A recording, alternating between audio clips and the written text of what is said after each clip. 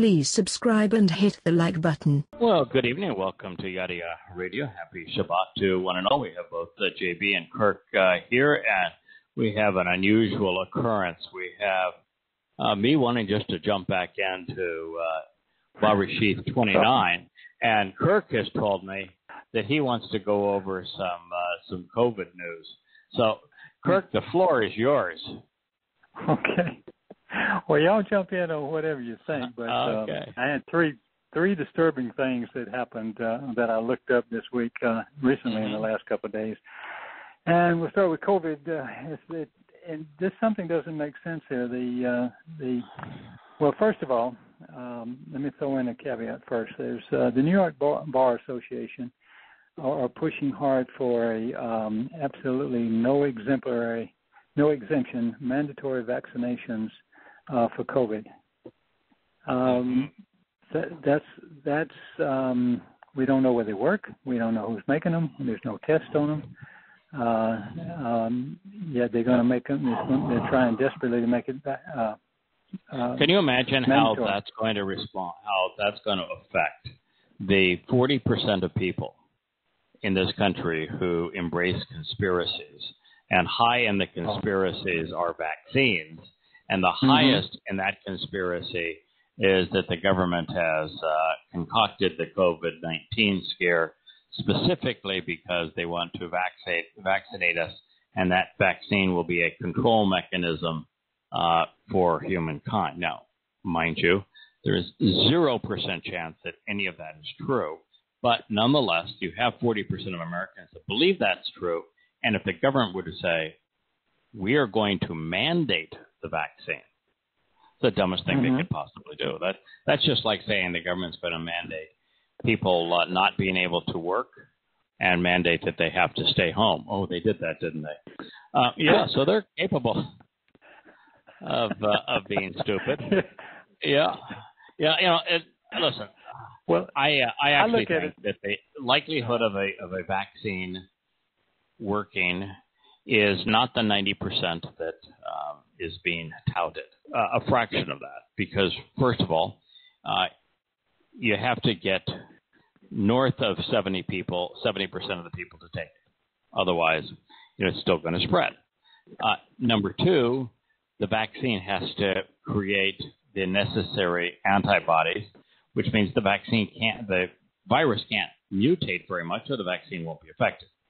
Number three, you have to give everyone two shots of this vaccine, and the logistics of that for 8 billion people around the world is essentially impossible. You, you can't even distribute it around the world. Uh, and then you, you have the, uh, the problem of we have no clue as to whether or not this uh, the antibodies will have any longevity. And so you've got all of that uh, going against this. Uh, and you also have a virus that is a little bit uh, HIV, uh, a little bit Ebola, a little bit uh, standard uh, Corona. Um, uh, you know, I think you're less likely to have a, an effective vaccine for this than we do for the flu. And the flu is a hit and miss thing. You know, it's every year. You, Mhm. Sometimes it works, sometimes it doesn't work. And so I, I, I'm just not optimistic. I, I don't think that uh, that the salvation is uh, in an imminent uh, vaccine. Long term, yeah, probably, but certainly not in the short term. Hey, you do live in the land of uh, of COVID, Crazy. though. I understand that you uh, now have a million cases in the People's Republic of uh, California. Well, uh, let me address worldwide, and, and then you tell me whether Okay. we have a million Please. cases that are deadly. The, here are the real numbers that I can find. Is um, they told us that we would have about 20 million people die from this. Uh huh. Cases are about 1.5 worldwide. Um, we've got about 2.5 million. Even if they doubled, it would still be inconsequential. Mhm. Uh, I found out cardiovascular disease kills uh, 15 million a year. Mhm. Um, and if you call, if you look at all causes of mortality uh, in the country, we have about 60 million on a Mhm. regular basis. So that makes it um, everything else about 125 times larger than uh, the uh, COVID. They had to shut the whole world down for COVID. Uh, Yes. The um, Yeah. annual. So so if you had an annual death around the world of for people, let's see. If you have the most, I looked at the populist group because now I'm really approaching 70. Uh, according to that, even if 4.5 million of us, of those of us who are at 70 or close close to it or Mhm. past it, were to die, it would still be less than one percent. hmm So you and you would have to uh, to have it reduce, have the odds be even higher um, than one percent, and, and we're talking minuscule. To even get to Mhm. one you'd have to kill at least 4.5 million, and it's just not happening. The, No. the point this bothers me so much is you shut down the whole. They've shut down the whole country, and so many jobs and so many people And the world. just Uh-huh. yeah in the world and just for this what what what are people to do and and you can't Right. get out you can't go anywhere it's just horrible Yeah, my uh, view has always been the same, and it was the same the first week that we learned about COVID and, and people talking about shutdowns, is that the damage we're going to do to the economy in the United States and worldwide would um, harm and kill far more people than the disease, and that Mhm. the number of people that would die and be severely affected by the lockdowns would be in the range of five to ten times greater than the disease because Mhm. suicides would go up, alcohol abuse would go up, uh, domestic abuse would go up, child abuse would uh, would go up, uh, and man just does not function well uh, deprived of uh, of social outlet. So we are seeing huge increases in suicide and in drug abuse and alcoholism and uh, the like, and um, and um, domestic abuse, and that we are seeing, in fact, that the death toll from those things is greater than the COVID death toll, and it didn't need to be the case. And we also know that uh, that the people worldwide who are going to die because of the shutdown of economies and the fact that liberals not only hate business, they've got no concept of business. Uh, that that too is going to end up killing far more people. I had a friend, we were having dinner the other night, and he was talking about uh, um, Obama's uh, economic uh, plan for China and how Trump uh, claimed credit for it. And I was saying, Are you absolutely out of your mind? And Obama never even asked if somebody wants fries with that hamburger. I mean, he never worked for a fast food restaurant, much less in a business. He he was an absolute nincompoop economically, and you want to give him credit? Oh, he, you know, he surrounded uh, China. No, he didn't. He he uh, sent our warships out against uh, China, which was unbelievably stupid. But he did nothing to endear himself or America uh, to pressure uh, Japan and and South Korea and the Philippines and other surround Russia particularly. They hated him to oppose uh, China. Well, you can't talk about free enterprise uh, in China. Look at their control over the uh, internet. Have you got any concept of the difference between government and economy? You know, the economics of China are free enterprise. Look at the enterprise zones. The government is communist. The more liberal a country is, the the more uh, abusive it is of its people. That's why they constrain access to information in China. But there's a vast difference between the government, which is very liberal, and the economics and the enterprise zones, which is free enterprise. Yeah, Yeah. this is a this is a bright man, and he had no concept whatsoever. I mean, you could not even discuss the subject. So uh, uh, it's true that the consequence of the lockdowns and the consequence of the deprivation of livelihoods and the response to COVID was far more catastrophic uh, than the disease itself. And neither of those things were appropriate responses to the disease. And even though we now even have the World Health Organization admitting that the lockdowns were counterproductive because of the increase in all manner of, uh, of uh, negative implications, you still have countries that, in places in the United States that are locking uh, people down and depriving them of their livelihoods. Look at what California has has done here recently. Well, they're, they're doing it this week. They're doing it this week Yeah. in Sacramento County. Yeah. Again, they're, Yeah. they're shutting everything back down. It's like, um, oh, where do these people go? I mean, you Right. can't. Right. And the most Uh, recent death and the mortality numbers are, are just essentially non-existent. I mean, it's uh, we're back to flu numbers in terms of mortality. Yeah. Uh, so I, well, if you kick out you know, I, pneumonia and you kick I'm out sorry. People people die. Are there people dying of COVID? Yes. There's people dying of heart disease. There's people dying of diabetes. There's people uh, dying of pulmonary disease. There's people dying of drug overdoses. People dying of act. People die. You know, um, if people didn't die, we would have a population of 100 billion people, and, and they would all be starving to death. I'm sorry. Well, let me give let me give let me give you a scary number then. Let me give you another scary number. Annual death toll in the world is 59.5 million per year. We have Mhm. 7.8 billion people. yeah. That's that's a growing growing number. Yes. So um, you know, so yes. but it ain't Popula- happening population COVID. is growing faster than it's dying. More people Yeah. are being born than are, uh, are dying each year. Mhm. Uh, but I'm sorry, man cannot prolong uh, life indefinitely. We all die, and you know, unfortunately, in today's world where we hyper focus on very narrow things and take them out of context, we have this fear porn over uh, over COVID, and to a large degree, I think that uh, Biden beat Trump because people don't understand the nature of uh, of this virus and how foolish our response was to it. But um, it, it turned out to be exactly as we uh, forecast when we began talking about it back in March. Is uh, when Mhm. we came to these conclusions, and nothing has changed. Yeah. Let me share one other thing with you, um, and Mhm. y'all give me your uh, and JB also. Uh, even though you're not a Californian, you you live out in the western part, or at least the mid to western part of the United Yeah. States, Texas, in that other country. Uh, but they came out with a report on what we're we going to do about the fires because they're all projecting that we're going to have worse and worse uh, the next Mhm. few years. And Yeah. here was what they came Earth up with. warming. They said, uh, yeah, they said we'll go through all the forests and we'll cut down all the dead trees. Well, somebody said, well, how much would that cost? And they and they gave so many numbers and they gave their numbers in so many billions that they said, okay, we can't do that. That's ridiculous.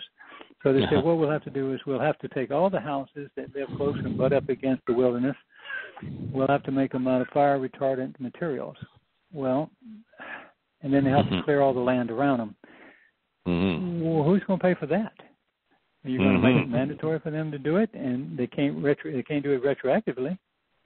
Mm-hmm. And then they said, oh, oh, and on top of that, on top of that, um, most, and we're talking 99 percentile of all the fires, other than a very small number that have started with um, lightning strikes.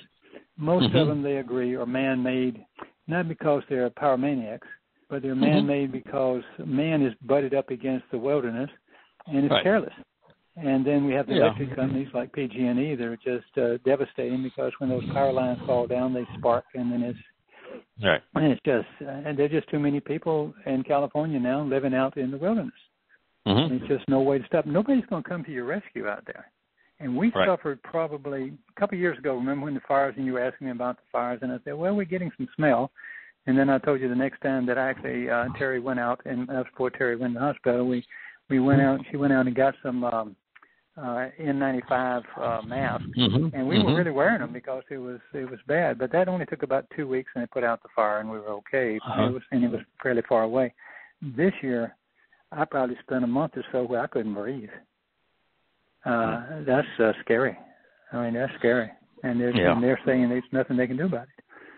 So Yeah, I, I, government one of the things that shows me just how inept government big agencies are is every time you watch a video of a uh, of a fire, you you watch firemen driving, you watch firemen walking, you watch firemen holding a shovel, uh, you watch firemen uh, uh, pouring water on a building that is already destroyed.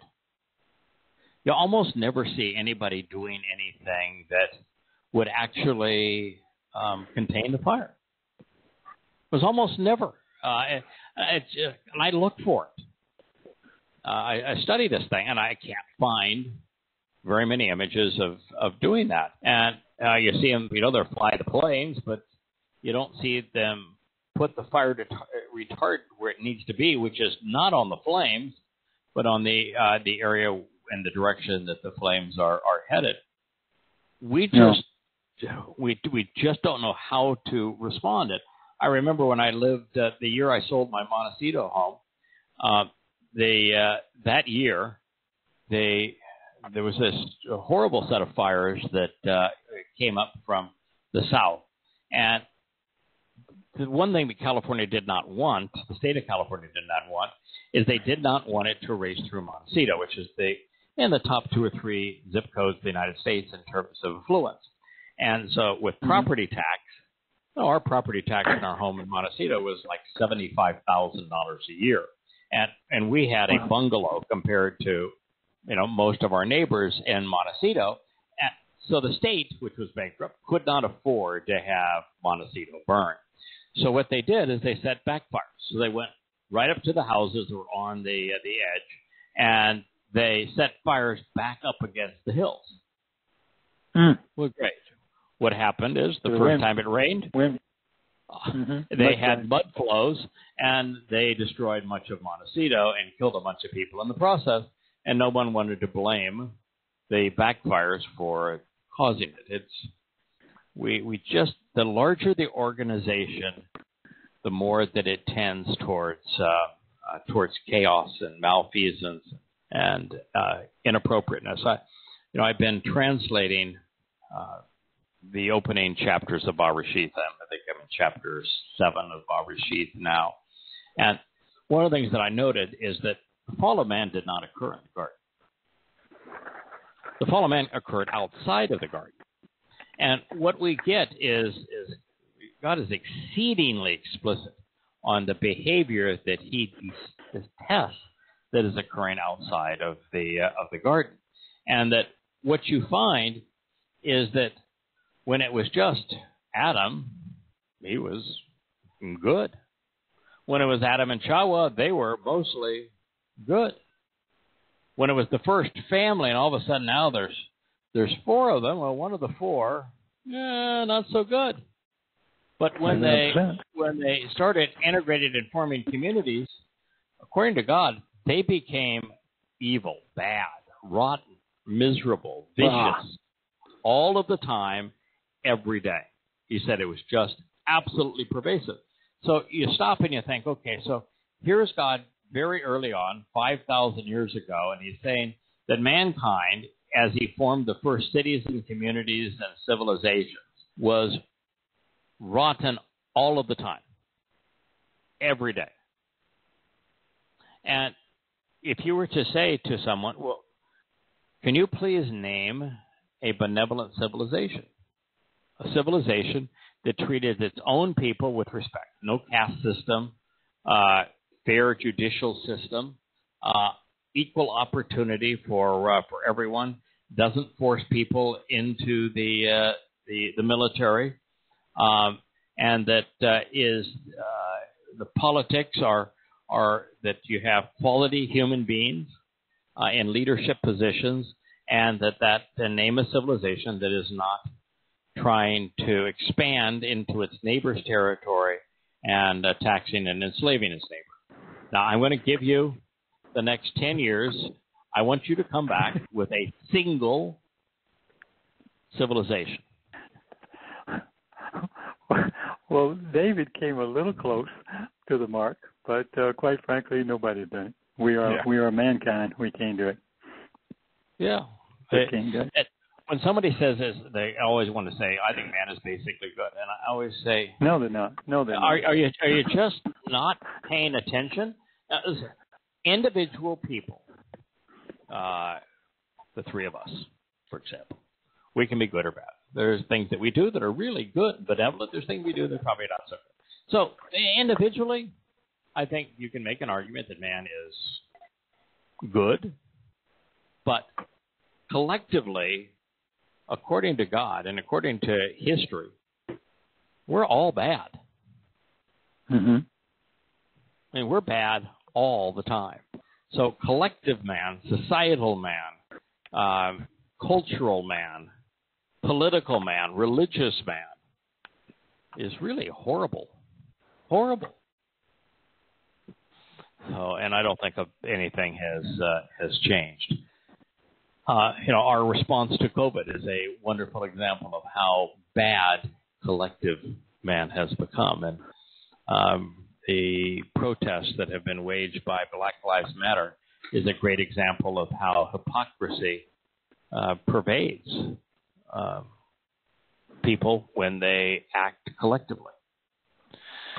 So here we were in Bereshith 2.9. Uh, we were at Yahweh, who is God Almighty, uh, enabled life to sprout up and grow from the ground. All kinds of trees were delightful, desirable, and pleasing in their visual appearance uh, and beneficial and good to eat as food. That's the first half of Bereshith 2.9.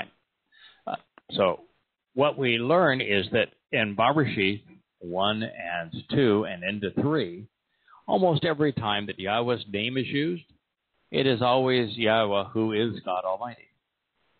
Mm-hmm. After we get past there, we very seldom see Yahweh and Elohim juxtaposed. So even God is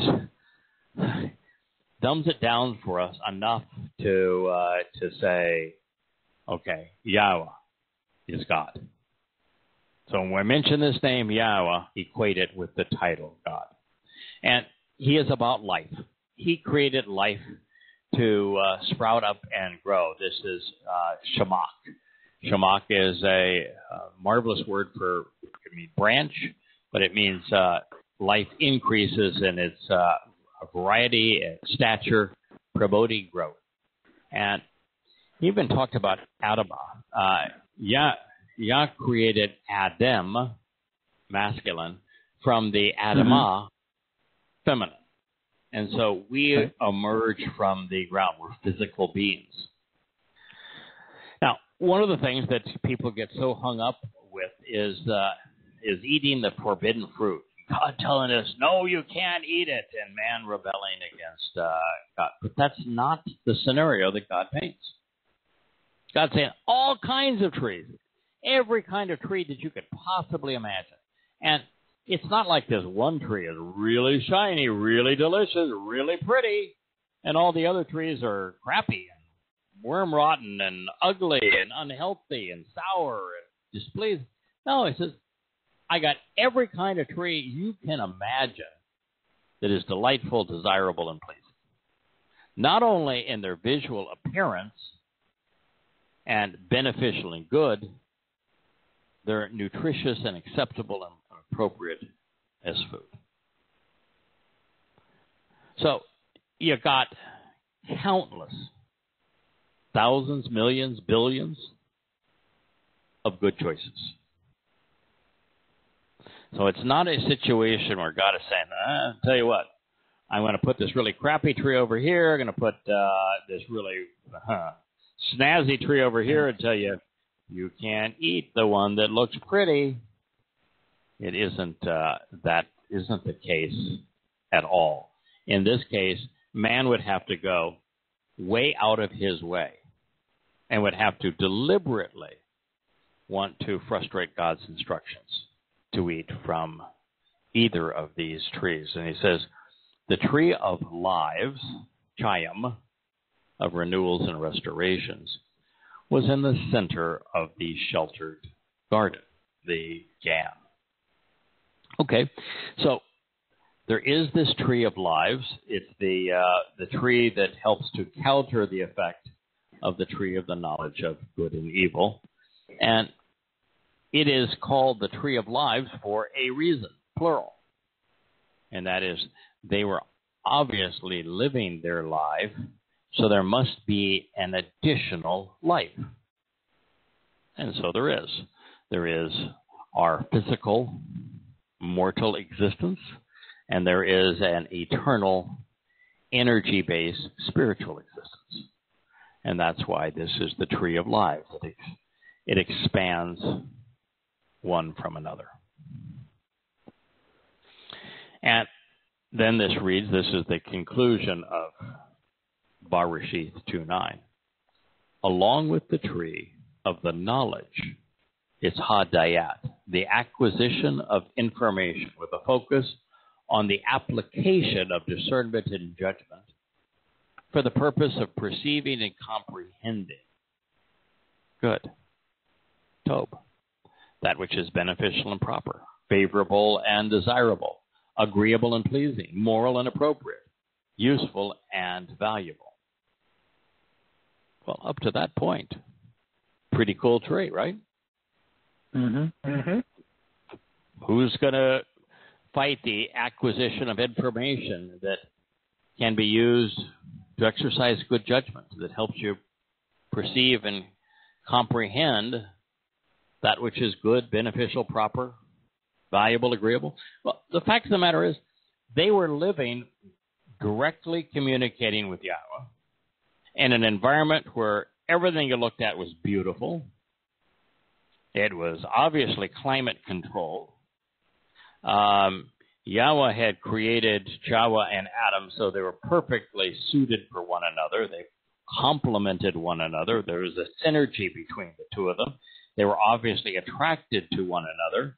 And there were all forms of life in the garden that uh, Adam and Chawa could engage with and uh, and uh, enjoy.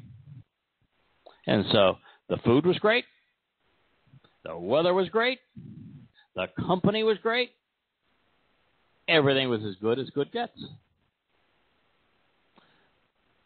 But this tree had something else, and the only thing that they would would gain by this tree is what follows because they already had what preceded it. Good. They already had the knowledge of good. They were going to gain Ra,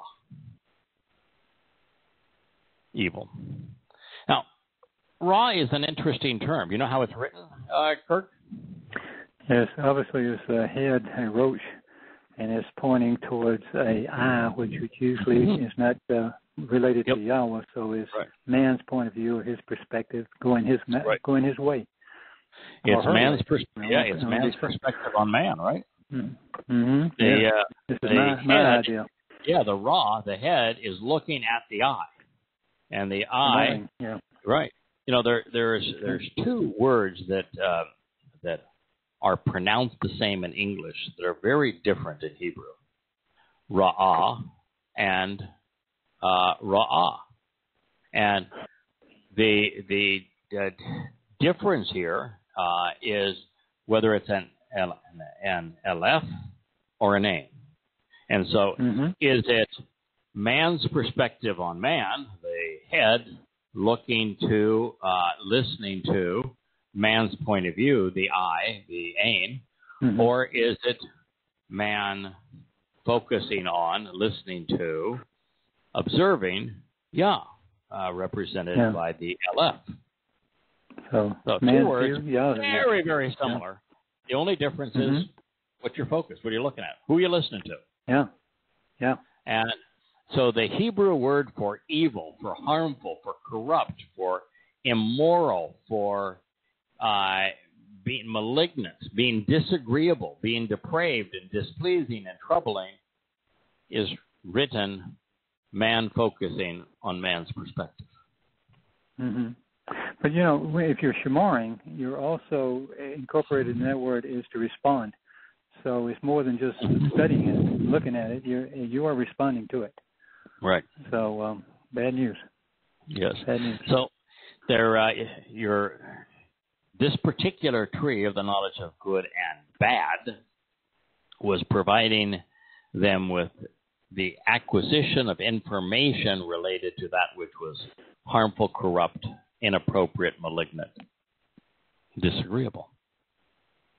Dayat is a derivative of yada, meaning to know in a relational sense, to be acquainted with, to consider, to perceive, to discriminate, to distinguish, to recognize and acknowledge. comes to God in most cases, the more one diets knows, more likely one is to yada Yahweh. Now, it is interesting, too, that as you study the Torah and the prophets, uh, there's as much in the Torah and prophets that is disagreeable as there is that is pleasing. Mm-hmm. Uh, God's very careful to do what we try to do as parents, which is a parent will say uh, to a child that you know, they ought not um, put their hand on the stove because uh, they will get burnt. And so that is a warning of a negative consequence. You uh, ought not go out and stay out late at night uh, in, a, in a troublesome area because you might get uh, mugged. Uh, you uh, you ought not order uh, shrimp cocktail from a roadside diner because you might get really sick. Uh, you know, you ought not play with a loaded gun because you might get killed. Uh, you know, you ought not lay down in the middle of the street because you might get run over. Uh, it, it's um, we tell our children the things that they ought to be careful about uh, that are, have negative consequences. God does a lot that, telling us you ought not do this because here's the consequence. Uh, and we we also say, you know, you ought to be uh, uh, knowledgeable. You ought to take the time to think things through and make quality decisions. You ought to demonstrate character. If you see somebody else that's that's hurting or needs help, you ought to care enough, uh, be human enough to go help them. You know, there there are times where a calculated risk is worth taking. Um, that if everyone simply allows evil to prevail and no one stands up, what you end up with is is a holocaust. Yeah. And so there are things worth risking your life, risking your fortune, risking your health, risking your reputation to stop. And so we will also talk to our children about the, the value of logic and reason and, and of information and uh, of character and of family, of integrity. Um, so, knowledge, the full scope of knowledge, is presented throughout the Torah. It's a very real book, and and today, now that we are on the the other side of this decision to be exposed to good and evil, we really need a full exposure. We we need to know why God wants us to walk away from the inducements and enchantments that are so uh, freedom depriving of man. Yes. Mm-hmm. they, it's the COVID response that demonstrates why God is so anti human political and religious schemes. Because the COVID response is we're going to curtail you from earning a livelihood, which makes you not only more dependent, but robs you of your sense of value and character. And we're going to deprive you of your freedom,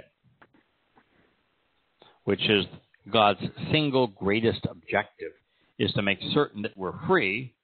And then we're going to uh, uh, going to mock and silence. In fact, in the liberal media now, and in Facebook and uh, and other places where information is shared, we're going to block access to any information that's counter to our objective.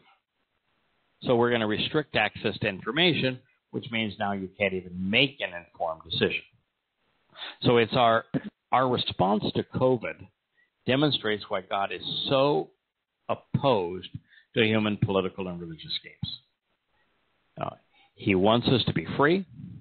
He wants us to be well informed, and he wants us to understand the value of, of work. And the most valuable form of work is working with him, taking the time to study his word, taking the time to share his word, taking the time to uh, to reason with people who are interested in knowing him. That's work we all should be uh, celebrating. So, I would say that knowledge without the proper perspective and associations, devoid of a conscience and judgment, now that can lead to arrogance and self reliance. Look at academia. Alone, unconnected to the source of life, knowledge has caused men to believe that they are all that matters, that they have mm-hmm. all the answers. Some even come to think that they are responsible for life and death. Boy, you listen to politicians like uh, your governor, uh, like Fauci, like so many others in the world. I mean, they they come across as if they're responsible for life and death. A few, you know, throughout time have considered themselves to be gods, and yes. there are those who act like gods even today. And and in this light, Satan has dyad knowledge of God's existence, and yet does not yada know Him in a familial way. Dyad knowledge and our nasama conscience, which is the ability to be discerning, discriminating, judgmental, and moral, they are collaborative. One without the other has very limited value. So it's interesting that since God knew that we were going to avail ourselves of the knowledge of good and evil, He equipped us to process that. He equipped us to be able to deal with it long before it happened. Now, why do you think He did that? Why did He give Adam a nasama uh-huh. before Adam could use it in uh, dealing uh, in a discerning way with uh, information of, of good and bad? Well, I assume it came as a package when you, just like when you're born. But what do you mean? Why did he? Why did he? Why did he specifically give Adam a nasama before he technically would have to have one relative to the tree of the knowledge of good and bad? Well, at least he'd be a listener. I mean, yep. in the word. Yep. Um, they could have an intelligent conversation. They could have yeah. a good argument. You know, yeah, fair uh, Yes, it was. It, it's just like when Yahweh revealed all of the animals to uh, to Adam, just to see how he would interact with them. Uh, mm-hmm. He obviously exposed discriminating then yeah. Homo sapiens outside of the garden without a nasama to Adam, which would be both men and women, and they just did not interest Adam. Yeah. They were on a completely different level. Yeah. And it, so God said, I'm going to give man this nasama, a conscience. The disparity between our ability to think would not be so great that we would be uninteresting to him. So we have a nasama hmm. because it's the only way we can be interesting to God. And he gave us a nasama so that once we made this decision, that we were going to access uh, both good and bad information, we would be prepared to process it in an intelligent way. Pretty, Twofold. pretty astute. Well, yeah. Yep. So, a nasama and access to good information are prerequisites of meaningful choice. If you do not have good information, if your access to information is truncated, as it was you know, look at the uh, the 2,000 years, uh, not quite that long, but maybe 1,700 years of the rule of the Roman Catholic Church. Well, do you think people had access? Do you think people had access to good information about God or anything else? No. No. no so how could anybody make an intelligent decision? And and if you, even if you were in the the upper echelon of the Roman Catholic hierarchy, and you had access to a uh, to the Torah and prophets. It's it's now written in Latin, which is a crappy translation of a really rotten Greek translation. And let's just say that you were one of those people that cut through the the uh, indoctrination and said, you know, I'm going to study this and come to whatever conclusion, wherever the words lead, is where I'm going to go. Well, first of all, yeah. do you think that you would be in the Roman Catholic hierarchy where you have access to this information if you were an independent thinker? no. No. So, how many independent thinkers do you think there were in the Roman Catholic hierarchy? They were buried out in the yard. Yeah, that is zero. Yeah, is the is the answer to that question. Well, let's just pretend there was one. Uh, What are the likelihood that they're going to throw away that luxurious lifestyle and be tortured to death to to try to impress on the others that what they were doing were, was wrong when they had a zero percent chance of success? wow. So No, zero. Yeah, it didn't happen. ain't gonna happen. and nobody No. else had no. had any information. So even if you have a functional nasama conscience, if you don't have access to good information, it's of no value to you. So the combination is a prerequisite for choice, for justice. Uh, you cannot be an effective juror or judge in any case unless you have quality information and can uh, process it rationally. If you can't do both, if you don't have both, it's impossible to be just. It is actually impossible to be moral. You can, logic is of no value if No. you're applying it to rotten information. True. All the information in the world is of no value to you if you don't know how to process it logically. So, to make an informed choice, to render, render a wise decision, to issue a moral judgment, to deliver a just verdict, to reach a reasoned conclusion, one must first know the facts. And then you must be able to process that information in a reasonable and rational way. And that occurs when we exercise our conscience, our nasama, to be discriminating and judgmental.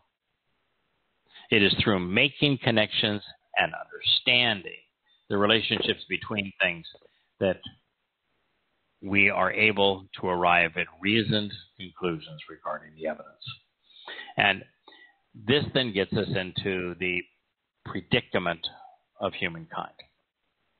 In most societies throughout time, there was an exceedingly uh, prevalent effort to restrict information. If you were part of the masses, you were told what to believe. And you were given no access to any information that was counter to the religious and political establishment. You know, a uh, a grunt in the military throughout time is never trained to think. They're never trained to understand all of the implications of battles and maneuvers and this sort of thing. It's only the officers. And so, if you're amongst the uh, the the grunts, you're not trained to think. You're not given information to think. No, it's drilled in you to be strong, you know, to exercise. It's drilled in you to know the the rank system. It's drilled in in you to uh, know how to salute. It's drilled in you to know how to respond to an order. It's drilled into you that uh, that Obey. whoever you're told is an enemy is a life uh, not worth living, and that you must protect uh, your own at uh, at all costs. You're told how to operate your weapon. You're uh, not told why an enemy is an enemy or how to maneuver to achieve a reasonable result. So, all of these things have to work hand in hand. And, and what we have done in society is either we've restricted access to information, which is typical, or we have made the consequence of thinking, of rendering a just moral conclusion so egregious that very few people are willing to do it. Yeah. You know, I, I recall one of the times I was on an airplane, I was talking about homosexuality, and I said, "Listen, I've got no issue about homosexuality. I'm, uh, many of my best friends are homosexual. I do not care what somebody does in their uh, in their private life. My only issue with homosexuality is when it is promoted as normal, because clearly it isn't normal. It's one to two percent of the population. That is the very definition of abnormal. And when it's Yeah. Promoted as good, I have a bigger problem with it because it does shorten people's lifespan. And it's it's not good for society as a whole. That doesn't mean that society is is harmed by some percentage of the people being hom- homosexual. It's not. But if everyone celebrated homosexuality and everybody was a homosexual, we'd have no society. Uh, you know, the the fact of the matter is that there are negative consequences, and it's not normal. So the politicizing it uh, as as a positive and as normal bothers me because it shows our inability to think. And I remember the two people that overheard this conversation, and they had an absolute condition. But how dare you? You're offending me. You know, you're. I'm going to complain to uh, the uh, the people who was on airline who are running the airline so that uh, they preclude you from uh, being able to fly. How so See- were you? How so were you of being offensive? because I I said that being homosexual was abnormal, not normal. It's factual. I mean, it's overwhelmingly Yeah. factual, and that rather than being a a good, it has negative consequences. Yeah, and a family unit with a male and a female was is always would always Yes. be better for the child than than not. I mean, no, Yes. you can't really argue that. It doesn't mean Yeah, it you can't mean- be loved by someone. If you look still, at the give me a history of Greece and Rome, when Greece and Rome, I had uh, many, many leaders that were homosexual. Uh, there Mm-hmm. were others that many, many were uh, were involved in incest. Many, many were involved in bestiality. But if Mhm. you also correlate the propensity engage in those things with their overall behavior and edicts and the way they treated other people, you would see that there was a direct correlation between very evil and bad leadership and these uh, um, behaviors. Hmm. So there is a historical precedence that's not good. Now, I I find it interesting because we're here, we're talking about homosexuality, that God actually says nothing about homosexuality. The uh, the two statements that are uh, are Attributed. translated uh, homosexual. There's only two. Uh, that both of those have nothing to do with homosexuality. They have all to do with the closest thing that we could equate it to would be rape, where you're you're taking advantage of another person not only without their consent, but in a manner that demonstrates one's superiority to over someone who doesn't have the physical ability to uh, to uh, to hold them off. And so God does not want you to overpower someone a- in a sexual way and to force them to have sex with you. So it's it's the most egregious forms of rape that he's speaking out against. So it's not a, a situation where Yahweh is uh, is telling us, you know, don't do that. He's uh, far more interested in rape and and in forced, uh, non-compliant, non-mutually compliant hmm uh, sexuality, just as he's against bestiality and uh, and incest and pedophilia. Uh, so I've got no issue it from personal point of view. I've got no issue from it from uh, Yahweh's Torah point of view. Uh, my issue with it is the same issues that I have with all religious edicts and political edicts. Is that you know God's not fond of them, and almost all of them are either hypocritical or irrational or counterproductive. And in this case, the politically correct um, uh, promotion of homosexuality as normal and good is a perfect example. It would be fine if we were to say a lot of people are homosexuals. We, uh, you know, it's between one and two percent of the population. They should not be harassed because of it. I'm all for that. Yeah. Shouldn't lose jobs because of it. Absolutely agree with it. Um, so it's because it's not appropriate to harass anybody for a uh, a choice of, of that kind. No. Uh, Everybody has free will. yeah, but that's not what they intend to do. So it's, for the most part, we try to preclude the exercise of good judgment. Uh, when um, you should see what happens when I'm talking to a liberal and I talk about the hypocrisy of Black Lives Matter, and I say that that any organization that points the finger and says that the death of black people is because of bad behavior of white people and uh, and institutional racism, and I said, well, that's absolute nonsense in in the United States because in the United States, 93% of the time that a black person is killed is by another black person. So there is a problem, but the problem is not the one that you claim it to be. And so if you really care about black lives, you ought to be looking internally into the African American community. Well, it's a statement of absolute fact. It's irrefutable. And and yet you should see the way that a liberal will respond to that. You know, how I've, dare you? Yeah. How dare you say that? Pretty much. Uh, so, you know, we are we're truncating speech that's based on evidence and reason. Now, what I'm about to share resonates with very few people. Hoping that you know one day there'll be more. I'd like you to ponder something that I, at least I think is profound. The reason that there is no longer any hope for the world as a whole, you'll notice Never on this program do I say, you know, we could solve our national debt if we did this. We could defend ourselves against the onslaught of Islam if we did this. We could resolve America's uh, uh, um, uh, destruction of its economy if we did Y. You know, um, I don't say that because I know there is no chance that we can uh, can save the uh, the country. Uh, so the reason for this discussion is just to have a, a, an understanding as to why it's a waste of time to talk about making America great again. Uh, and and that is because the average American has lost the ability to rationally, morally, uh, or to exercise good judgment. So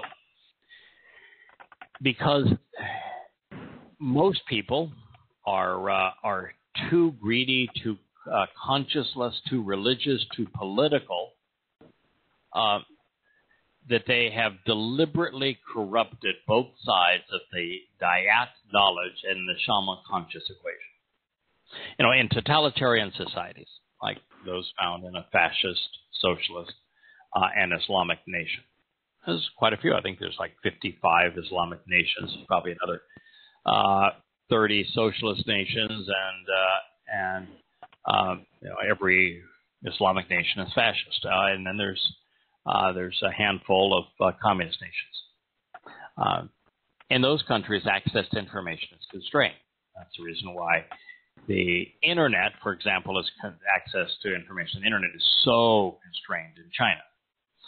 You would think that those people who promote liberalism in America and think it is enlightened uh, and that is intellectual would put two and two to, uh, together and say, wait a minute, uh, in communist countries, which is the ultimate expression of liberalism, there is absolute constraints on access to information. Huh. They don't think that uh, that through. But nonetheless, in a fascist uh, or uh, socialist or communist country, in a religiously controlled country, access to information is absolutely constrained and controlled. And much of what is available is inaccurate. Without access to good data, reason is useless, and thus wise choices are impossible. The so called free and democratic countries' information is so abundant, we nearly drowned on it, which is the opposite of that. In America, we have access to so much information that it is overwhelming, especially since most people lack the ability to process it. If you don't have a filter, too much information is counterproductive. If you can't swim, the swimming pool will kill you. The masses are therefore controlled by robbing people of their ability to choose wisely, especially between man and God, between good and evil, right and wrong. For this reason, elitists created this immoral code known as political correctness. Based upon the irrational notion of being intolerant of intolerance, it makes being judgmental and thus discerning and discriminating a sin. So, no matter how prevalent or accurate the facts are, without the ability to process them judgmentally, wise conclusions and thus good choices are impossible. As a result, men and women have abrogated their free will, as most everyone on the planet has been either rendered unable to process information properly or they're deprived of accurate information. In the West, where information is prevalent, political correctness has become the moral code of universities, of, the media, of politics, and now of society in general. It is the soul of America's national religion, social secular humanism, the doctrine of man, if you uh, if you will. Uh, it is where man is the supreme being, and make no mistake, it is a control mechanism, one designed to condition the masses so they're easier to manipulate, indoctrinate, and police. Now, I'll give you an example. If I were to mm-hmm. provide a mountain of information which proves conclusively that the religions of man, uh, Judaism, Christianity, Islam, are wrong, it makes no difference to those who are unable to process that evidence rationally. I can provide overwhelming mm-hmm. proof that Yahweh exists and that he revealed his covenant to man and the Torah and prophets, but it seldom resonates with those who've been poisoned by human schemes. I can reveal that the fate that awaits humankind over the next 13 years is uh, is devastating without motivating people to change because their consciences are no longer engaged. You can talk to a liberal about comparing East and West Berlin, East and West Germany the Iron Curtain part of Europe, Eastern Europe, with Western Europe, North and South Korea. You can show them that here are examples of the exact same people, ethnicity, exact same culture, exact same client, uh, climate and location, exact same opportunity, just with either a liberal application of government, communism, or a less abundant application of government in terms of uh, free economics uh, and uh, and republic uh, free elections. And 100% of the time, the freer people are, the more individual responsibility they have, the vastly better society is in terms of every aspect of life. And you can say, this is universal. It has been this way throughout time. As a matter of fact, you can't name a, another example. I mean, the ultimate example is is as I say, East and West Berlin, East and West Germany, uh, North and South Korea. Look at the difference between life in Taiwan and life in China. So, why is it that you can present that to the liberal and they go, it's just they have no capacity to deal with that reality. Their consciences are no longer engaged. As a result, all of man's political and religious schemes oppress and fleece the masses by controlling access to information or by criminalizing thoughtfulness. You know, for example, during the millennia long political and religious domination of the Roman Catholic Church, the union of church and state, kept the population ignorant and enslaved. The same can be said of communism during the last century. And throughout most of these periods, anyone who challenged the edicts of a Catholic or Orthodox Christian cleric, a communist or fascist dictator, or an Islamic caliph was tortured and killed discernment was not allowed because reason is the enemy of all political and religious schemes. Today in the West, the universal application of political correctness assures that anyone in the public arena who is judgmental will be condemned, humiliated, and silenced. Well, that's a fact. Yeah. Newt Gingrich was such a great example. He uh, when uh, he was actually running for president and uh, and had the the lead in a uh, primary, uh, he gave a speech on the mythology of the of the Palestinian people. And oh said, yes, know, to, I heard that. Yeah, yeah. He said, you know, to to talk about a Palestinian people and a and a nation of Palestine uh, just proves that you don't know your history, because there have never been a Palestinian people. There's never been a place called uh, Palestine. There's never been a nation of Palestine. And it's all a myth to create the illusion that Israel is somehow occupying land that belongs to somebody else and that these people are an ethnicity that have been deprived of their nationhood. And says none of that is true. And here's the history of it. And what he said was absolutely correct. It was impossible to rationally or evidentially refute. And he was mocked to the point that uh, within a week's time, his candidacy was over.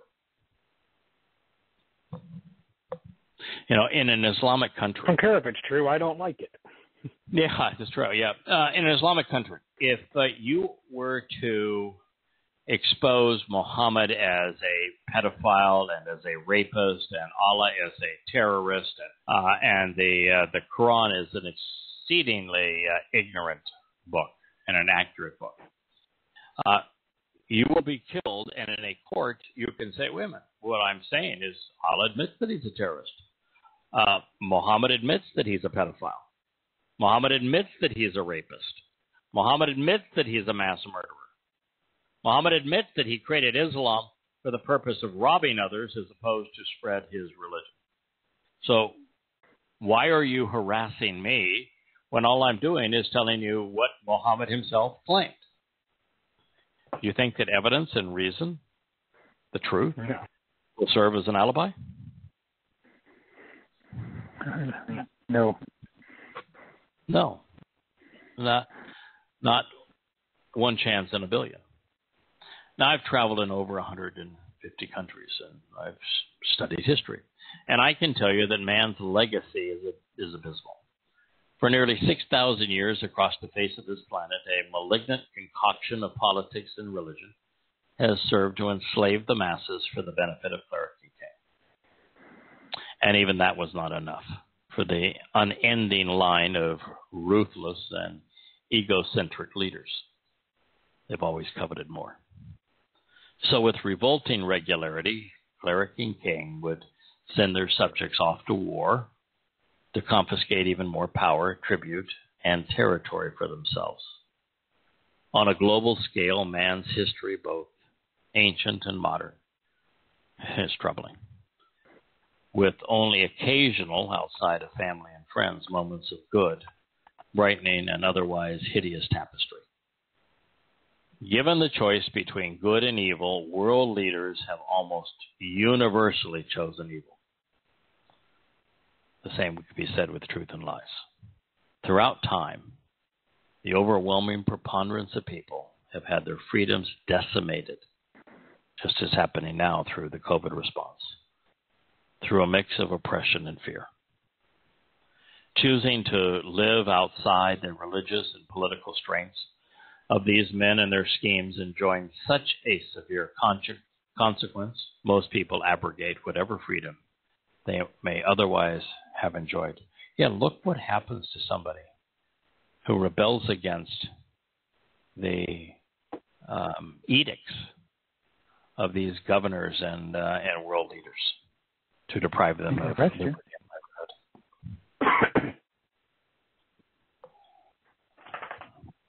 So yeah. that's where we find ourselves. And uh, I can tell you quite certainly it is not where God wanted us to be. Now, there are a couple of other additional insights into the tree of the knowledge of good and bad, especially with regard to knowing things which are evil, harmful, morally inappropriate, malignant, and disagreeable. Things which are of no value, morally depraved, displeasing, and corrupt. Man brought these things upon himself. It is therefore inappropriate to blame God for pain and suffering, for crippling diseases, for disabilities and death. Rather than saying a loving God wouldn't allow suffering to occur, we should realize that love requires a choice, the very choice that we humans made to become acquainted with adversity. Human pain and suffering are a consequence of the choice Adam and Chawa made in the garden, and of the subsequent choices we humans have rendered after them. God said, if you eat of that tree, you're going to die. Death was the consequence. We all die. For those who fail to appreciate the purpose of free will or acknowledge its value or consequence, and who continue to lament over a God who would allow any atrocity or misfortune to occur on our planet, please consider what you're asking of Him. If Yahweh were to intervene and stop anything bad from occurring, the result would be to remove consequence from choice. Doing so would completely undermine the benefit of free will, which in turn would make love impossible and our very existence pointless. Why should you talk about Yahweh's name, His Torah? Why talk about the covenant if there is no consequence to choosing to ignore it? or to mm-hmm. rebel against it? Why talk about life if there is no death? Why talk about bad if there is no good? There would be no reason for the universe to have been created because Yahweh would no longer be able to grow through the loving relationships we're able to form with Him. The idea of God allowing people to choose to be bad rather than follow his instructions is fairly easy to understand. However, when it comes to a child suffering or dying prematurely, it's difficult for us to appreciate how even the most trivial decisions we make can change our futures and those of others. So I'd ask you should God intervene and stop a company from dumping pollutants into the ground, the air, and water to keep a child from getting cancer? Or should man intervene and stop that? Man. Man. Yeah. If so, what about altering trivial events which might cause someone to drive a little faster or a little slower on a trip, consume an additional drink, or get distracted by a text when the result leads to an accident? The smallest thing might not only affect the rest of their existence, but might also impact the lives of otherwise innocent bystanders and even the initial victims of an accident. They don't stand alone. What about the extended family members, close friends, coworkers, mm-hmm. and neighbors of an adult accident victim? What if one of those killed? People that are, you know, interact with those people on a daily basis. Yeah. You know, what if somebody killed would have become, you know, a, a teacher, a doctor, an inventor, a philanthropist? What if they would have become a rapist, a pedophile, or a murderer? Does God preclude people from living who are going to become bad? Does he only allow people to live who would be good? What's the purpose of having a doctor if there was no disease? Why have a philanthropist if there is no poverty? And this worked the other way as well. They may have there may have been an Austrian with an affinity for painting, kind of like Kirk. He liked landscapes, though. I think Kirk likes to draw people. People, people. Mm-hmm. Life. Yeah, Kirk's more into life. Is a little different than the Austrian with the funny mustache, who for some reason was turned down when he uh, uh, applied for admission at the Vienna Academy of Art. The person who was hired instead rejected the, an 18 year old boy's application in his opinion, the lad's work lacked an appreciation of the human form.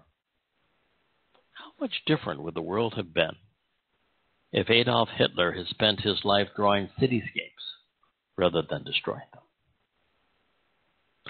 Every decision has a ripple effect. Who knows what the confluence of events brings uh, when a situation turns horrible and so happens that an innocent person is harmed. Even if it were possible, at what point should God stop meddling in the minutiae of an endless stream of variables to prevent a seemingly senseless tragedy to occur? What repercussions would his intervention have on so many others who are not directly involved? You know, one of the things that I, I learned as I was retranslating the creation account is that God specifically allowed for chaos. Without chaos, there's no purpose to to the universe, no purpose to life. Yeah, you have to have uh, unforeseen events. It has to be, even for God, to have things have the opportunity to occur that were not foreseeable. Otherwise, what's the purpose? If if everything that happens you knew was going to happen and the way that it happens, and there's no chance that it will happen any other way, bore yourself to death. Oh my God, would it be boring? you know, if every story was the same, the it was all happily ever after. Why would you write a story? They're all the same. Why cultivate a relationship when every relationship is going to be identical? How would you learn empathy if there was no pain? How would you learn to appreciate life if there was no death? Oh, no trouble. How could love mean anything to you if there was no hate? What would be the value of having children if nothing you did had any influence over their lives? You know, I like to play golf. I have thought, you know, in eternity, I'm going to have the sweetest right to left soft draw. I'm going to hit the ball 300 yards plus. Every shot is going to land in the middle of the fairway, and I'm going to have the crispest, sweetest irons that land softly on the green and roll up right next to the pin so that uh, I have a tap in birdie, uh, maybe an eagle here or there. And why not a hole at one? And to go out and play these magnificent courses with my favorite friends like Kurt and uh, and yeah, enjoy the play view with you if you can do that. and and just stripe it down the fairway and uh, and shoot. Well, I should be able to shoot an 18. Yeah. What fun would it be? What fun would it be? Really? Yeah. Why bother? This is no contest. No. Why bother? Uh, you know, if uh, why bother? You know, every decision has a ripple effect. And if Yahweh decided to present, prevent certain bad things from happening, at what point would he stop? If he engages to thwart a terminal illness for newborns, at what age does he stop intervening? Two, three, five, seven, nine, twelve, fifteen, eighteen? What if God cures all diseases? Ignoring the obvious and enormous ramifications, then should he stop at all fatal accidents? And if he stops all fatal accidents, should he then stop all random acts of brutality? It's a slippery slope that can easily result in an existence where there are no bad consequences for any actions, making choice irrelevant for all action. There are a couple of extra thoughts I'd like to consider. First, Yahweh has intervened on occasion to preclude the existence of uh, the preclude the exercise of free will when he recognized that the cost of not doing so would be catastrophic. The flood was necessary. Had God not intervened and flooded that region where people were being so uh, malignant, um, so vicious, uh, so oppressive, humankind would not have survived. Uh, the choice uh, with the situation in Egypt to um, free the Hebrew slaves. Another example Mhm. where if God had not intervened, there would have been no Yisrael and Yahudim to act as prophets to convey the Torah, prophets, and Psalms to us. The consequence would have been enormous. What if God had not intervened at the time of Hezekiah and allowed the Assyrians to wipe out Yahudah uh, and Jerusalem along with the rest of uh, Israel? And they went the way of the dodo along along with the Philistines. What would we have? So God has intervened. He's going to intervene again. You know, He is going to Mhm. stop the flood of jihadists from destroying Israel. He's going to wipe out political and religious man. He's going to return the the polluted earth to the conditions that were experienced in Eden. Well, had he not, we wouldn't have this book, would we? We wouldn't have these Correct. scrolls. So then, And- then where would we all be? So yeah. then where would we be? We'd have no way of knowing God. They, the absolute proof that God allows and has to allow man to act badly is what occurred to terminate the perfect conditions that Yahweh enjoyed with Adam and Chawa in the garden. He allowed Satan in. Satan was allowed to misquote Yahweh. Chawa took him one further and was even worse in her uh, in her statements regarding Her translation, yeah. yeah, her uh, her translation was not very accurate, and and of course uh, Adam, all Adam did the same thing Chawa did. Chawa blamed uh, Satan. Uh, Adam blamed uh, Chawa. None of them took responsibility. I mean, we we we progressed. We jumped right forward to the New World Order and, and the approach of communism, where no one is to blame. No. Uh, so God allowed them to choose badly, and He allowed the consequence of that bad choice to occur. So, since God obviously allowed this, why are believers so reluctant to accept the obvious reality that He has allowed the same crime to continue unabated for a millennia, and therefore they can't trust what they call to be their scriptures? You know, there are tens of thousands of old manuscripts which tell a different story than this idea of I can't believe God would allow anyone to corrupt His word. Now, as a result of free will, God has either allowed His word to be manipulated and twisted, as He did in the garden, or He was powerless to stop it, making such a God feeble in comparison to man. Because man was obviously able to corrupt it. Mhm. The facts are clear. Clerics conspired to corrupt Yahweh's testimony to serve their religious agenda, and the victims have seldom cared enough to correct or thwart them. Both sides of this perverse equation have made a choice and have to live with the consequences. And there is the problem of, uh, of those who would specifically request that um, that uh, Why doesn't he God- intervene on my behalf? Yeah. Yes.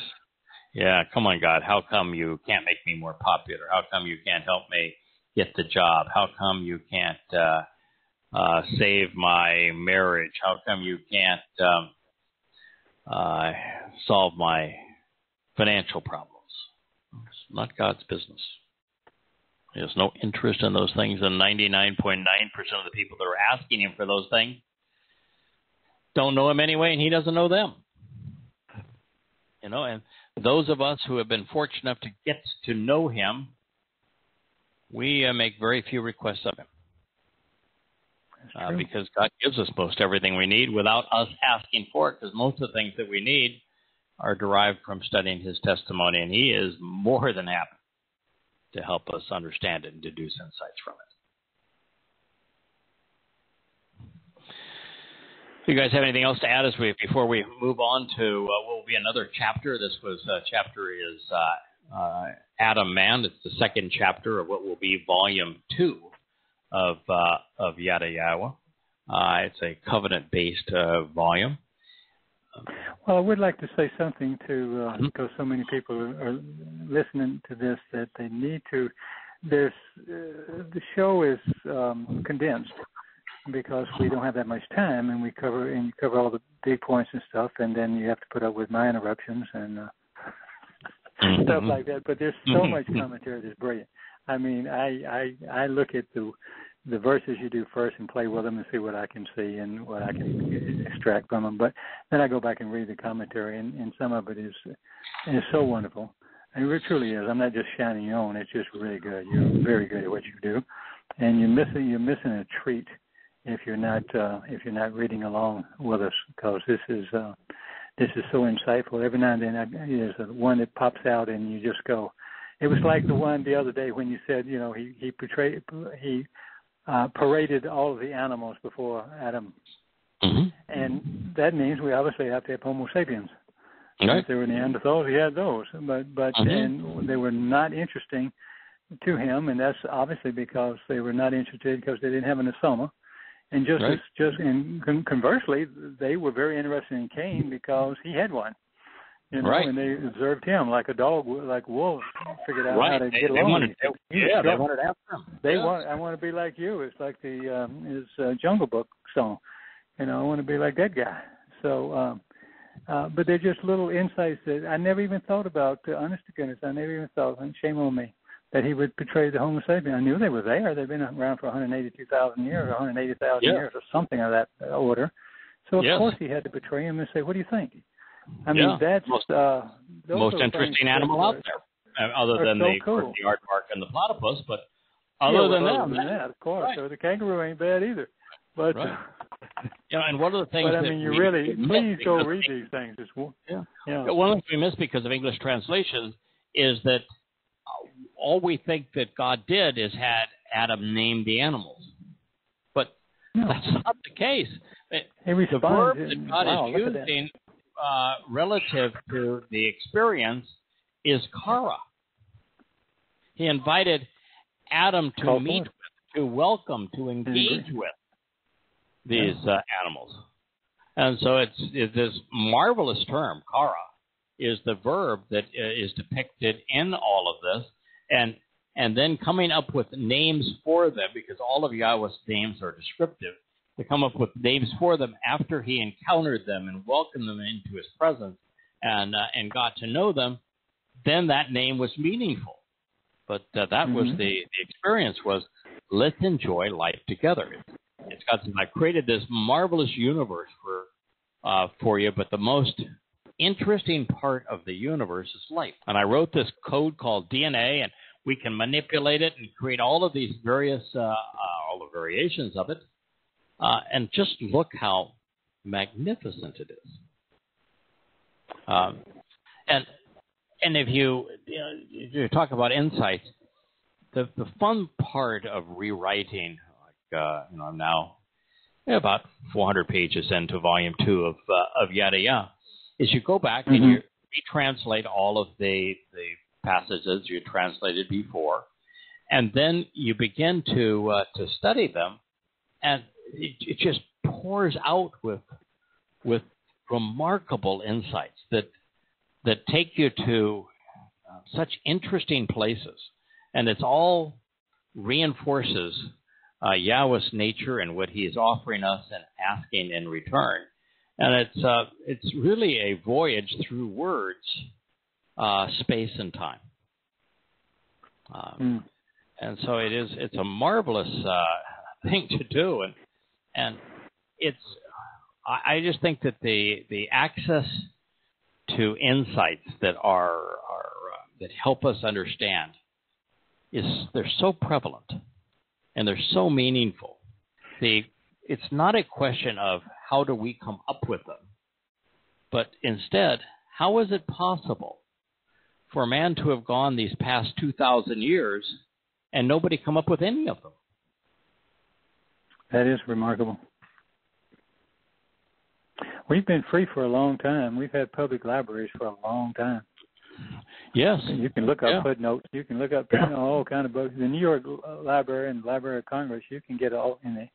You know, Yes. a lot of a lot of people go to Cambridge and uh, you know in Oxford, and they can find these things, but they don't care. Yeah. They I was writing care. something that uh, Leah objected to earlier today, and it was I was uh, writing about uh, the fact that God twice tells us in the uh, in the account uh, preceding the flood that that Noach did he engaged and acted in a way that was consistent with everything that Yahweh instructed. And so twice he says this that that uh, acted and, and responded in a way engaging such that he did everything that Yahweh directed and asked it, and asked of him. And and I said so you know if you look at the word for instruct and and direct it happens to be uh, conveys exactly the same message as does Torah. You know, Torah based on Yara means the source Mhm. from which instruction and direction flow. Yeah. And so we now have access to the same instructions and even more than Noah had. And so we too are invited um, uh, aboard the ark, but because of the fact they've all been written down for us, we don't have to build the ark. So we're invited to aboard, just like Noah was and his family, but we don't have to build it. And I said, you know, it's kind of Mhm. like reading these books. Y- You can benefit from the uh, Hebrew translations and the insights that help bolster understanding, but you don't have to learn Hebrew. It's all there for you. So it's just like we're welcomed aboard the ark and don't have to build it. We're we are given Yahweh's testimony in the language that most of the world speaks, English, in such a way that the insights are provided for us to capitalize on without us all having to invest the time to learn Hebrew and create the translation. I can tell you that doing it's a lot of fun. I would encourage people doing it, but most people don't have that level of both time where you can invest that much time or the motivation to do so. And so, just as God is offering us the ability to go on the ark without building it, He is offering us the opportunity to know Him and be part of the covenant without uh, dissecting every Hebrew word. Well, un- unlike any other author I've ever found, you've got everything in the in parenthetical where you can go in and look at it and say, "Oh, that's where it came from." That, and it's an easy lookup at that point if you if you're not sure, if you disagree with where, why it was translated that way. But uh, that's And you know, that's your skill set big, where you big, look at the big letters, stuff. that's what drove me uh, yesterday to uh, uh, to dissect this uh, this difference between ra uh, ra'ah and ra'ah Mm-hmm. to uh, the double A. to see, to Oh, observe well, all very do that. good things, and to be Yes. rotten, evil, malignant is who's your focus on. Yeah. Are you looking at things of God or are you looking at things of man? So it's no matter how deeply you look, the more you have the opportunity to learn. Yeah. So uh, as we start this uh, this next chapter, uh, and we can begin this part because this is uh, what I think is interesting that God gave, gave us these details. Um, uh, there's not an enormous amount of teaching on those. So let's well the part where we're not uh, broadcasting but still recording. We'll go through the location of uh, of Eden. He he begins to say that a glistening river, a, a Wa Nahar, a brilliant stream, flowed through and departed, Yatsa, came through and was extended, serving and then proceeding from Eden. So if it departed Eden, if it was extended from Eden, if it's men out of Eden, are we talking about the headwaters or the mouth on these rivers? Obviously, talking about the Headwaters, huh? headwaters. This is where they're Yeah. beginning, not where they're ending. Yeah. So all of these people that want to put Eden down there at the mouth of the Tigris and Euphrates under what was once Ur, I'm sorry, you need to know the difference between the head and the tail. Okay. Up and down, little geography. good, good to know. You know, make it through a little hydrodynamics. Uh, this is water. Now water goes downhill. Even finding the ark. That was the one thing that was uh, always interesting is that people looking for the ark on the top of Mount uh, Ararat. Now, mind you, that uh, Mount Ararat is a volcanic mountain that has erupted uh, since the uh, the time of the the ark, and therefore the mountain uh, uh, peak is quite different than it was back then and much higher. But if uh, if uh, you uh, uh, build a little um, model in in a kiddie pool and then drain the kiddie pool, and then you put little floaty boats, you know, little rub your duckies and that sort of thing there, and you drain the water out. One of the things you're going to find out is that the hydrodynamics of water will will pull it away from the highest uh, things. So water doesn't draw itself to the highest point. The flow of water will flow off of the highest point and and push things away. So if you were looking for an, an ark in the mountains of Ararat, the last thing you would do is look on the summit of Ararat. That's the one place where you can be assured it would not be. Uh, and so that was the interesting thing about uh, finding the the actual arc is is actually creating a diorama of, of a 3D diorama of the mountains of Ararat, and uh, then filling a bowl, a basin full of water, and putting a uh, a model ark there, and letting the water out and saying, "Hmm, where does it go?" Hmm. And then looking there. That's uh, how it was uh, originally found uh, that, and someone who could read this would know that the uh, the ark has to be somewhere close to uh, to uh, Lake Van and uh, in present day Turkey, between there and uh, and Ararat, because that's where these rivers all coalesce. So, a glistening river flowed through and departed from Eden, which means del- delightful place of great joy, ultimate pleasure, favorable circumstances and extreme satisfaction. Uh, Eden was a resort. It was like um, uh, you see one of those uh, over the water uh, resorts in uh, in uh, Indonesia, in uh, Bali and Bora Bora, mm-hmm. and that sort of thing. Oh, yeah. Water temperature's uh, 85 and it's crystal clear, and there's uh, uh, always a lovely breeze blowing through the palm trees, uh, and everything is beautiful and green and well, uh, Eden was like that. Um, to refresh, it says the sheltered garden.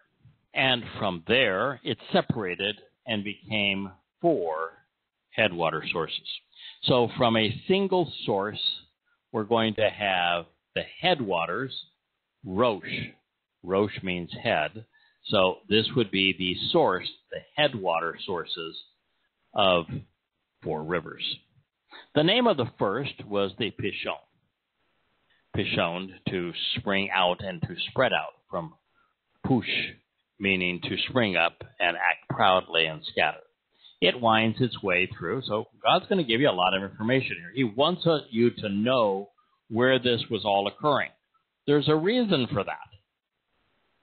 And the reason he wants you to know where all of this was occurring is not so much that you would know the location of Eden, although you can you can tell it from this. No, but God says fine. that it was east of Eden where man became so belligerent early on. Well, when you describe all of this, what you're going to find is that east of Eden was the area around the Black Sea Yeah. down into Babylon. And so the one of the things that we learned fairly recently in the last 20 years is that the first human civilizations of any magnitude were along the shores of the Black Sea, and they were all eliminated in a flood some 5,000 years ago when the height of the Black Sea rose by 500 feet and the Black Sea instantaneously turned from freshwater to saltwater. And all of those civilizations are preserved 500 feet below this intensely cold water. And so he's saying it's the area east of the Black Sea, so he is letting us know where man became so belligerent and where we needed he needed to clean house and has a, a fresh start. So that is the area, and then from that area down through Mesopotamia is the cradle of human society, where civilizations, the first civilizations, were born. And God begins, you know, and Daniel to tell us that Babylon is the mother of the harlots, and Babylon morphed into to Persia, Media Persia, and Media Persia most morphed into Greece, Greece morphed into Imperial Rome, and Imperial Rome into the Roman Catholic Church, and then tread upon the whole world. So he's giving you the history of civilization by uh, telling you where to look. So it winds its way throughout all of the region of, of Cha'ila. Now, Cha'ila uh, would be Havilah, twisting and circuitous, uh, from to twist to encircle, uh, to bring fear, pain, and anguish. Where rationally, uh, where relationally, there is gold, precious metals, rare earths, considerable wealth, and money. Well, in Bereshith 25:18, speaking of Cha'ila, Yahweh says that Ishmael, the father of today's Arab Muslims, settled from Cha'ila to Shur, which is east of, uh, of Egypt as one goes towards Assyria and in uh, defiance of all of his relatives. Assyria was located between the Tigris Euphrates and what is today northern Iraq and Iran. If you were to travel from Egypt to Assyria, you would pass through eastern Turkey near its border with Syria, northern Arabia, Iraq, and Iran. So we know where we are, but more on that later. And the gold of that region, the uh, the bdellium resin, and the precious stones there are valuable, pleasing, and beautiful. Well, the reference to gold, rare earths, precious metals, great wealth and splendor, as well as gemstones, could be a reference to the mines which exist in this particular region. I think Yahweh was referencing the opulence of Nineveh, the capital of first Babylon, and uh, later the principal city of the Assyrian Empire. Man's first known religious and political schemes were conceived and perpetrated there. It was the birthplace of the sun god religion practiced today as Catholicism. It remains a religion of considerable wealth, money, and splendor, which separates the masses from God. The name of the second river is the Gishon, the Gihon. It winds through the whole of the land of Cush. Oh boy, boy! I tell you what, the Cush, Cush is a sticky wicket uh, in terms yeah. of where where Cush is. But I'll share what what uh, what I've uh, I've learned, and I am I am not going to tread into the realm of the uh, emphatic. No. Yeah, of emphatic. I'm just going to share some thoughts with you. You can uh, choose to put Cush wherever you are most comfortable putting uh, Cush. Cush, more commonly rendered C U S H, although it's K U W S H in Hebrew. So K uh, W S H uh, in Hebrew, was the son of of uh, Ham, which is actually Cham in Hebrew. Uh, in mm-hmm. addition to Mitzrayim, Put, and Canaan. Okay, so you can see uh, kind of where he might be in the scheme of things. Uh, scholars want to put Cush to such that it represents Ethiopia because its root means black. Uh, but I'd be really careful with that. What is today Ethiopia was often part of Egypt at the time, and Egypt mm-hmm. is uh, called Mitzrayim in the Torah, not Cush. And while there is plenty of evidence to connect Cush with ancient Egypt, at least in terms of, of trade, that nation's genesis was still a thousand years hence, meaning that Yahweh was not describing an emerging culture in northern Africa. Further, the Nile flows north from Central Africa, not south from eastern Turkey. you can believe what you will, but hey. But as it relates to that last sentence, I am destroying the myth that Cush is next to Egypt and is Ethiopia because Mm. he said the headwaters of these rivers flowed out of Eden's area, and they flowed Mhm. out of that area, and they, there's only one river in Egypt, uh, and it happens to be the Nile, and it flows in, it flows in the opposite direction, and never gets Duh. anywhere close to where the other rivers intersect. So we're not. It can't be located there, but there is a, uh, a clue. Nimrod, the patriarch of uh, of religion and the king of Nineveh, which was uh, in Assyria, then called Babylon, was a descendant of Cush, and was known to have been a black man. So we might surmise that Cush, at least at this time, represents what is today northern Iraq and Iran. It is a region America recently and foolish unified under Shia Islam. It is the area which will one day soon serve as the headwaters of an all Islamic Magog Federation, something the Torah's genealogies will also confirm. Now, as evidence of this theory, the Iranians call the 12,000 foot range, which towers above the modern Syria, city of Tabriz, the Kushe Dagh, or the mountains of Kush. Located in the upper northwestern finger of Iran, near Lake uh, Urmia, the Kush range is fewer than 200 miles from the headwaters of the Tigris and Euphrates, the next two rivers on the list. Also telling is the association of Kush, meaning black, which is the name of the world's largest inland sea, the Black Sea, which, not so coincidentally, is adjacent to the headwaters of these next two rivers.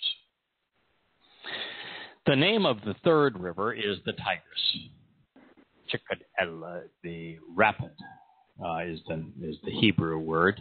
The Tigris from uh, Chedak, to prick and sting with a thorn, and Chadar, to rapidly surround, to close and besiege, bringing impending doom, and to forego and to reject. It certainly describes the nations that would Wow. be around. It uh, traveled east of Asher. Well, Asher is Assyria. So Mhm. it travels east in the direction of Assyria, of Asher. And the fourth river is the Euphrates, Hu Parath, to break open and be fruitful. The Euphrates, meaning fruitful, is the largest river in Asia Minor and Mesopotamia. It's from Parath, fruitful in Hebrew. The Shedekel is Akkadian, ancient Assyrian and the Babylonian language, pronunciation of what has since been renamed Tigris in Greek. So the Tigris River, as it's called now, is because following Alexander's conquest, it was given a Greek name, but that wasn't its original name. It was the Parath, just as Yahweh describes it, or fruitful river, as the Hebrew word means fruitful. And we know Akkadian and Hebrew are sister languages. It didn't bear the name Tigris, nor did the uh, until really the third century BCE. Both mm-hmm. tributaries of the Tigris begin their 1,300 mile trek to the Persian Gulf in the mountains west and southwest of Lake Van in eastern Turkey, which is 200 miles due south of the easternmost shore of the Black Sea. The east branch begins its journey to the sea about 20 miles south of Lake Van, and the western source emerges 100 miles due west of Turkey's largest lake. Moving on to the Euphrates, its twin tributaries emerge 100 miles northwest and 50 miles due north of Lake Van, the latter not far away from the mountains of Ararat. From there, the waterway travels a great 1,700 mile arc west, east, south, and then southeast to the Persian Gulf.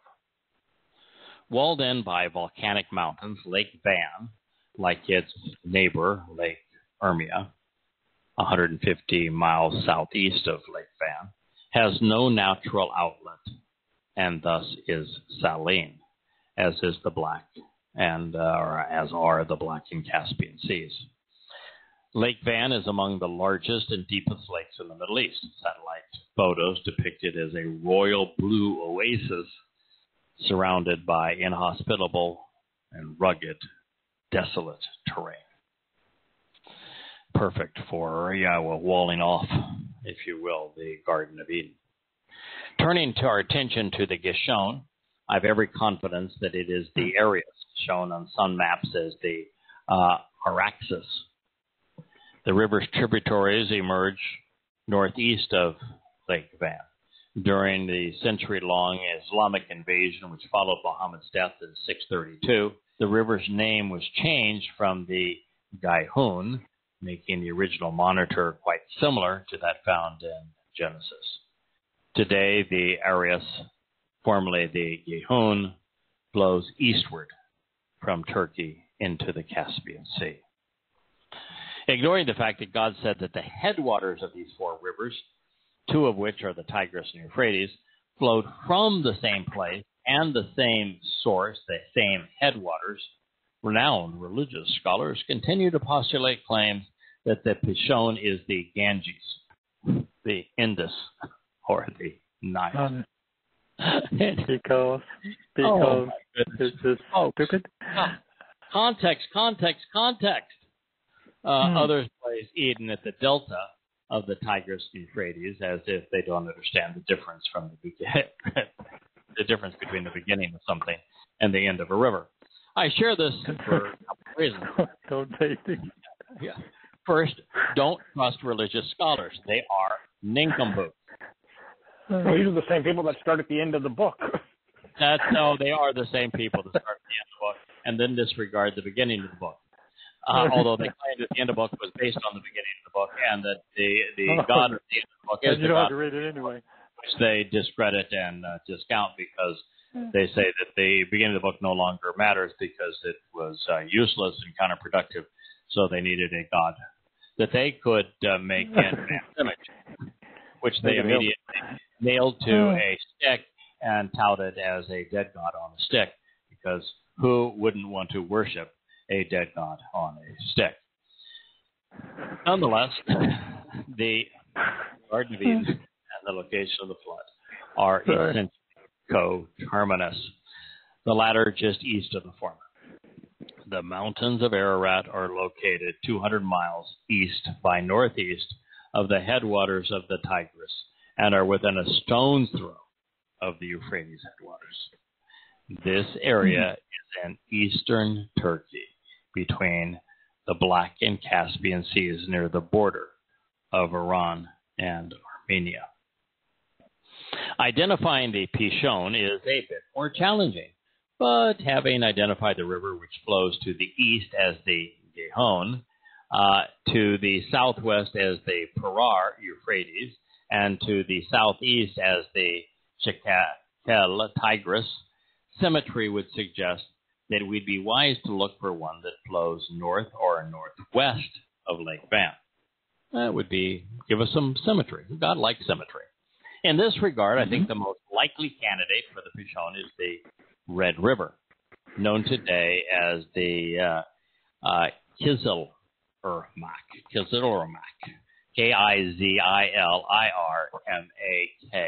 This river is a good fit since Yahweh told us that it would be known for its red stones.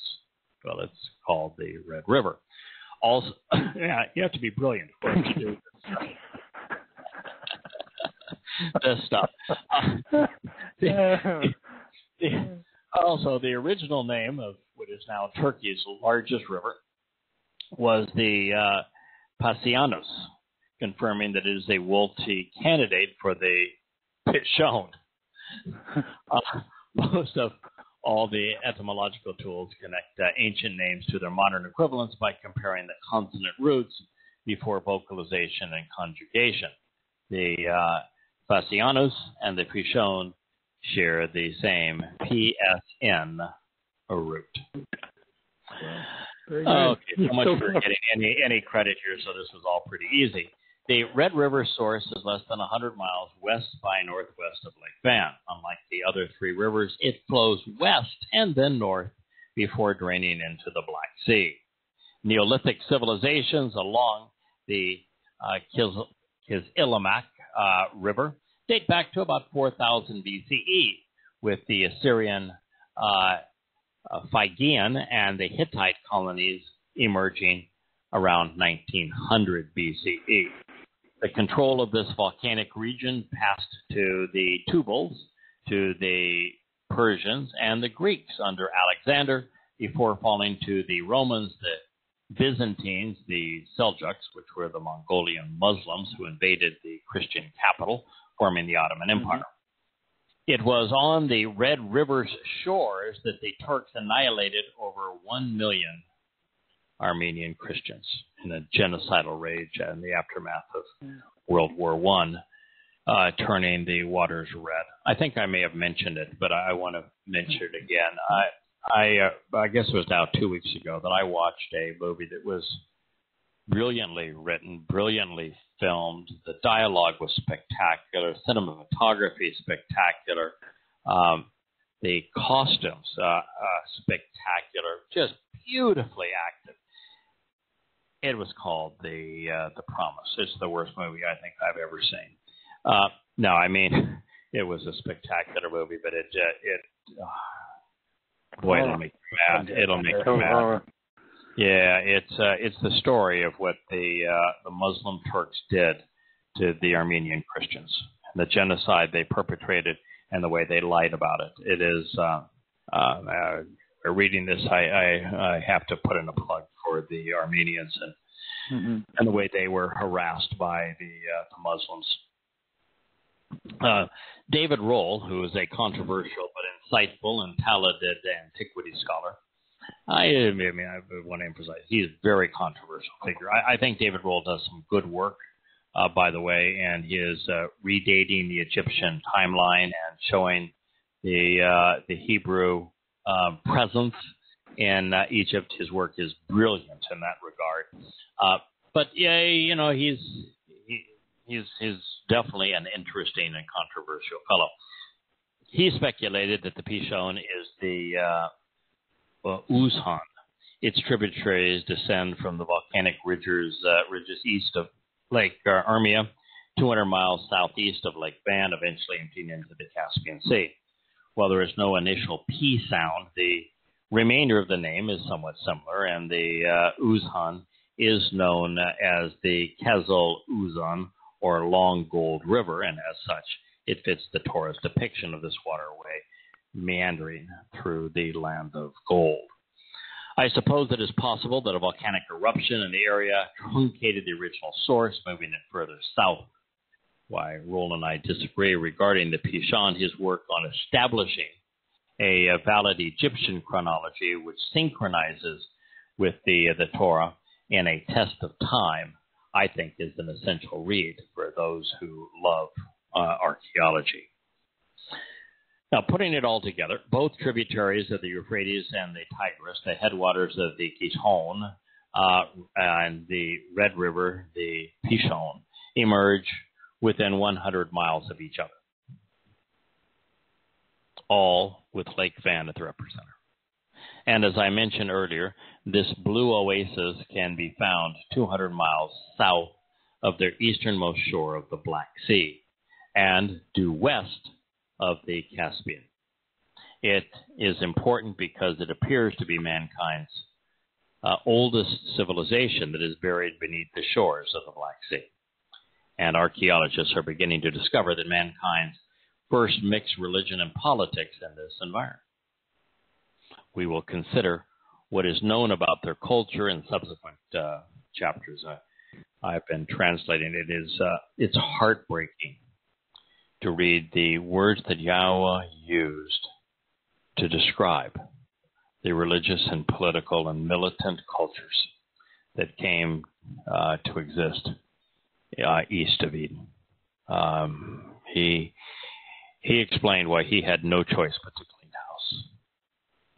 So before we move on, be aware that Yahweh referred to each of the specific places in which the rivers flowed as kol eretz, as the whole land area or region.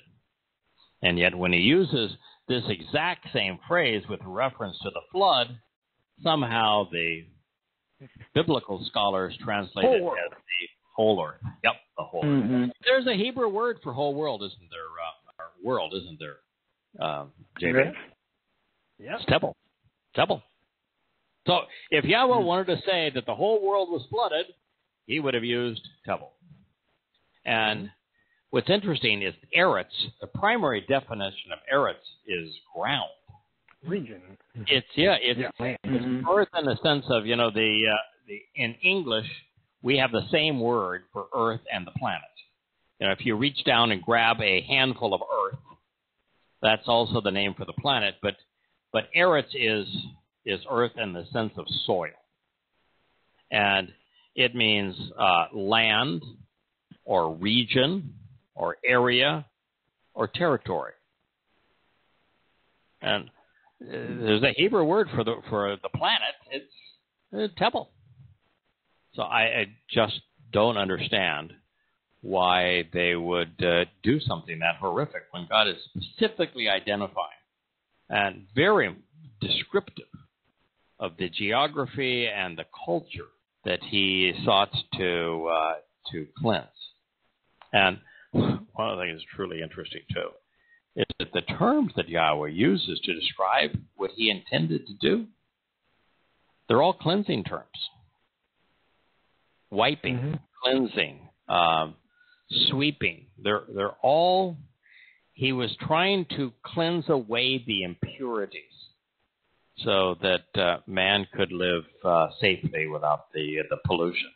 And there are so many mistranslations too, as we'll find with uh, with him saying that God wanted to wipe out all the animals there. No, he doesn't.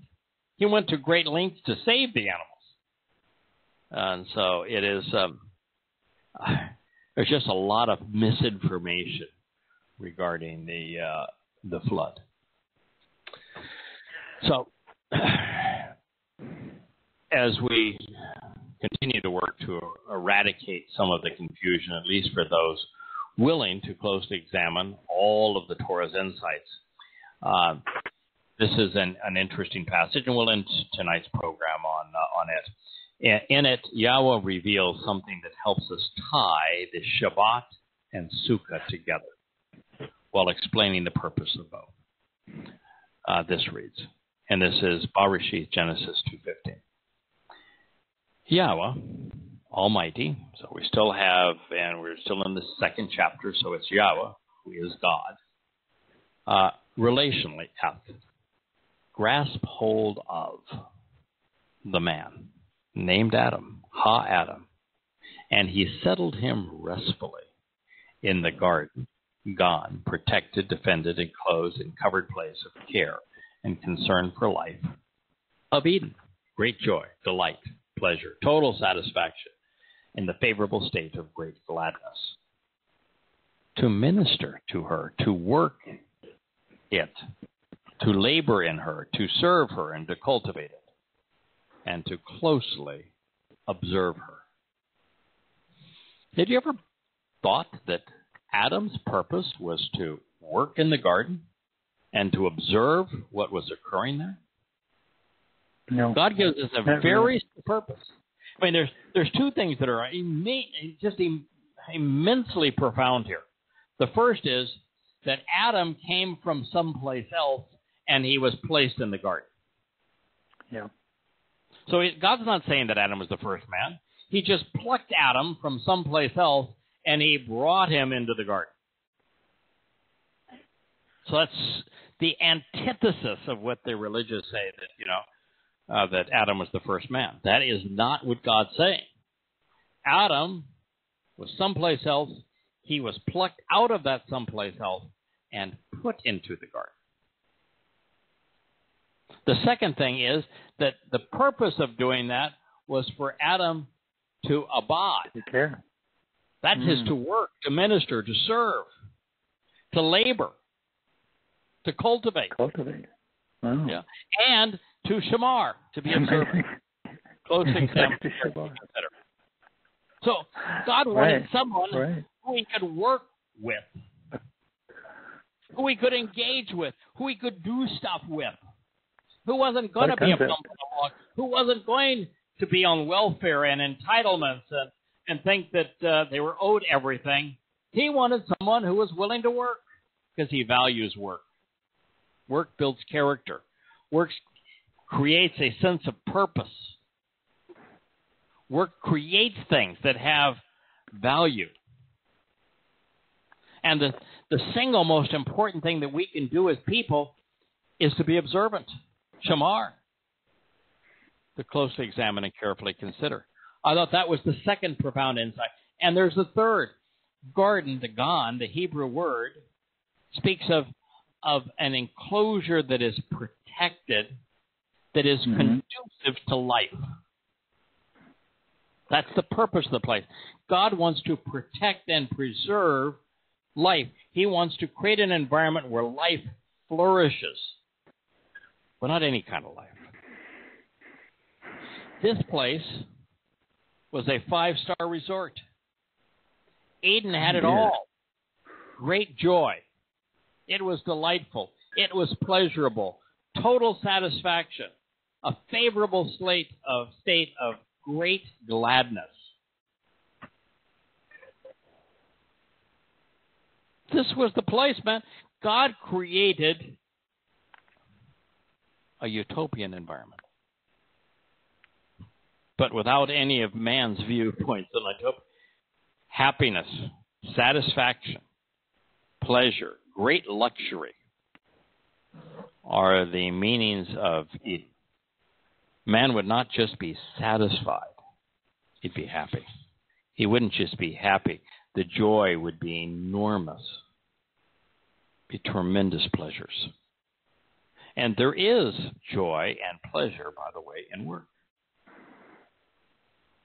There are Gives you something to do. yeah, yeah ob- observing a beautiful sunrise, a yeah. wonderful waterfall, Yeah. uh, uh, uh, laughing at the aardvark and the platypus. A sense of enjoyment, of pleasure. So being observant uh, and working are the things that uh, set this apart. So here you have a statement that has so many profound insights that if you just take the time to say, wow, man art existed, this man, uh, Adam, the man, was taken from one place and placed in the garden. He was settled restfully there. That the garden was a protected environment that was conducive to life, and that it was named Eden, which means great joy, uh, tremendous delight, pleasure, satisfaction. And then that his purpose was to administer to her, to work in this garden, to serve with him, to work together, to cultivate life, and to be very observant, paying attention, to closely examining and carefully considering. Because isn't that what eternity is going to be as we go off and explore together? With Gosh, God. I hope so. He wants Wow. people who are going to be be observant, who are going to closely examine and carefully consider what's going to be seen, or what's the purpose of sharing it.